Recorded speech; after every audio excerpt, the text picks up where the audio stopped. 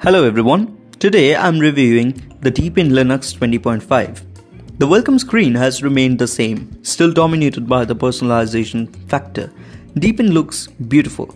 The beautiful interface extends to the App Store. Rounded corners and colorful user interface. Installation of software is easy. You just need to search for the app and then install. Done.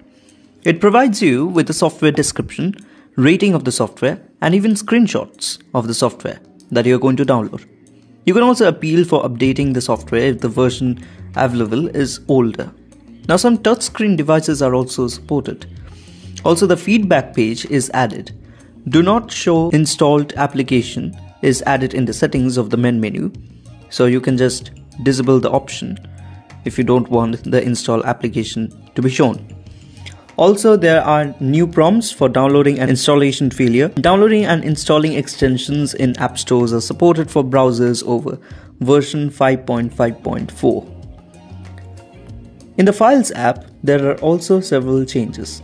There are custom corner markers that can now be added to the files by third party programs. Custom context menus can be configured by third party programs too. Also, Showing file extensions in file names can be enabled or disabled in settings. Some special characters are supported in file names. The overall user interface is a fresh one. I loved it. Whenever it is Cutefish or Deepin, the change in the user interface hits fresh. The subtle amount of blur, not much noticeable, but definitely makes a difference. The Mail app has also received several new updates. In the new version, now you can jump to new emails directly by clicking system notifications. Automatically receive emails when the network is reconnected. Add folders and remove folders from the favorite folder.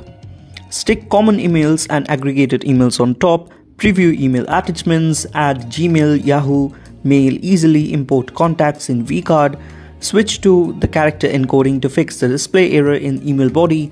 See the send time in the forwarded email. Send files by clicking send by email option in the right click menu. Receive emails automatically every few days. Last but not the least, you can also get enriched functions of the mail editor. So many changes. The device manager is also updated.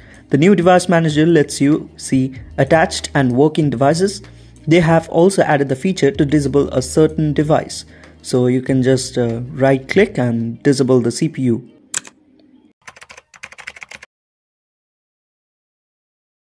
Also local drivers of the devices in DEB format can be installed, updated and uninstalled.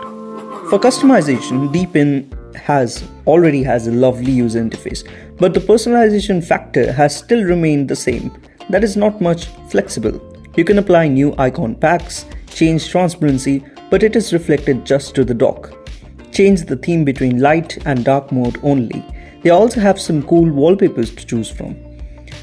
There are also some changes in the grand search. Now file types and extensions can be used as keywords. Also the search scope is enlarged in the grand search. In the all new screenshot utility, you can now take scroll shots, pin screenshots while you work they also have a number of options like you can doodle whatever you want on them and more.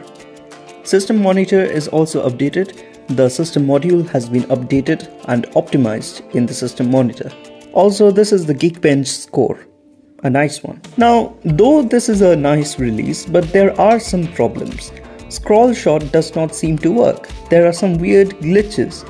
Also, come on, add some animations at least. You are making it look so very beautiful, there is a lack of animation and it just takes away the fun. Smooth animations at correct speed pulls up the user experience by several units.